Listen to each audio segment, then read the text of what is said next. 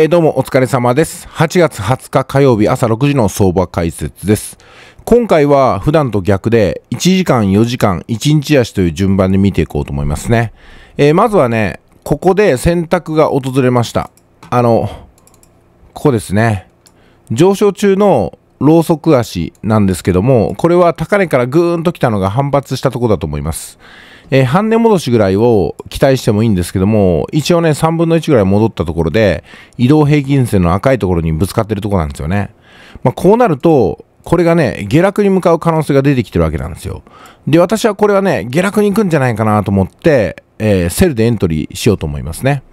で、他の見方としては、これが、結局、もっと上の方まで行ってですね、こういう風なチャンネルラインを描きながら、今度、青い移動平均線で下に行く、もしくは、青い移動平均線も押しのけて、えー上の方に向かってね、少なくとも半値戻しまでは進むんじゃないかなって選択もあるわけですよ。これはもう決断です。どっちだと思うかってことなんで、どっちもありえます。あの、本当にね、選択としては6分4分と言いたいところですけども、5分5分に近い6分4分でしょうね。私はこういう場面ではセルを打つことが、まあ、多いんでね、それで勝ち越してるわけなんですけども、ただここはですね、この決断を迫られる段階で、どっちの選択をして、結果どうなったかっていう個人個人の実績ってものが大事なんですよ。まあ、つまり私と同じタイミングでこの選択に迫られている方ばかりじゃないと思いますので、自分の選択すべき場所でどうだったのかっていうふうな自分の確率論をここでね、模索する必要があるわけですよ。で、私は自分の選択だと、この場面でセルに入れた方が勝ち越してるんで、セルを入れますね。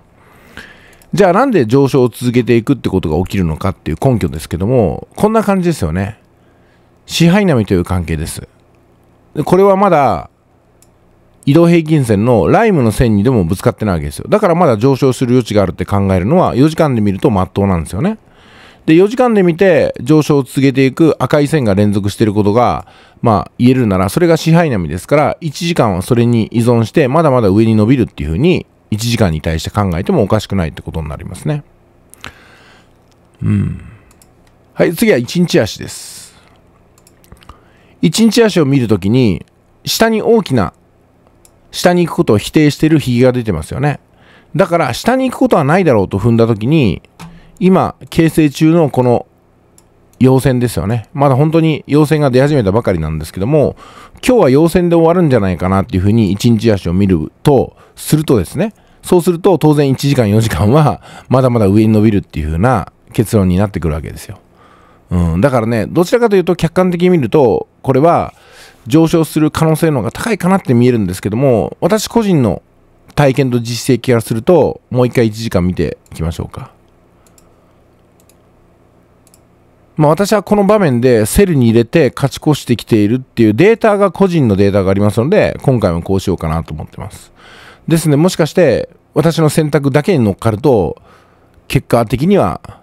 馬場を引く可能性もありますからね。まあでもそのぐらい、あの、やることは明確なんですけども、選択には勇気がいるってことなんですよ。はい。それをまあお話ししたくてね、今回はあの今回のような組み立てになりました。